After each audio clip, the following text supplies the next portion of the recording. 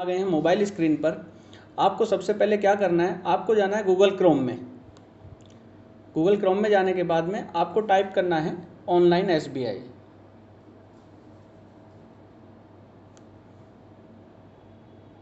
online SBI click करने के बाद ऑनलाइन एसबीआई ओपन होने के बाद में आपके सामने ये स्क्रीन खुलेगी।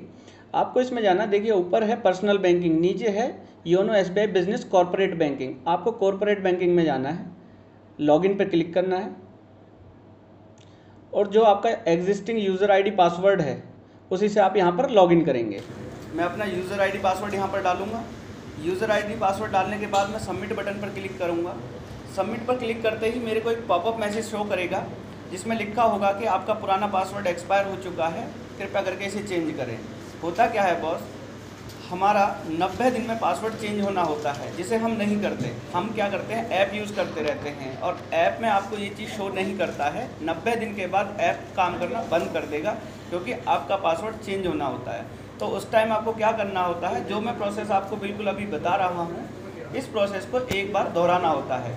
यहाँ पर आकर आप अपना पासवर्ड चेंज कर सकते हैं, और पासवर्ड चेंज करने के बाद अपना योनो ऐप जिस तरीके से आप अभी यूज़ कर रहे हैं, उसी तरीके से उसके बाद यूज़ कर सकते हैं। तो देखिए, हमारे सामने मैसेज आ गया है चेंज दिस पासवर्ड को चेंज करने के लिए। मैं इस पर ओके बटन पर क्लिक करूँगा। देखिए, क्लिक करने के जस्ट बाद आपके सामने ये स्क्रीन खुलेगी। इसमें आपसे मांगा गया है प्रोफ़ाइल पासवर्ड। प्रोफ़ाइल पासवर्ड क्या होता है? जब आपको आईडी पासवर्ड दिया जाता है स्टार्टिंग में तो एक प्रोफ़ाइल पासवर्ड भी दिया जाता है। वही प्रोफ़ाइल पासवर्ड आपको यहाँ पे डालना है।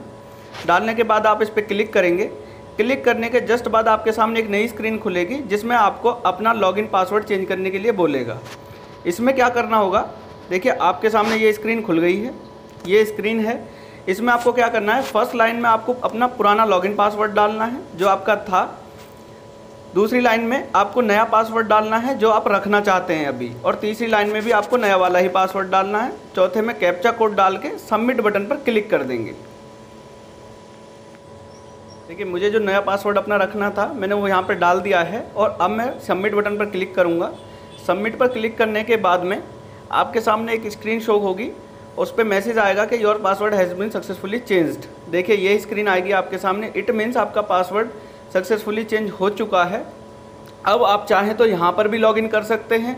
और चाहे तो अपनी योनो बिज़नेस ऐप में भी जा करके योनो बिज़नेस ऐप में जा करके आपको एक बार वन टाइम रजिस्ट्रेशन करना होगा और उसके बाद लॉगिन करके आप इंटरनेट बैंकिंग फैसिलिटी का आनंद ले सकते हैं।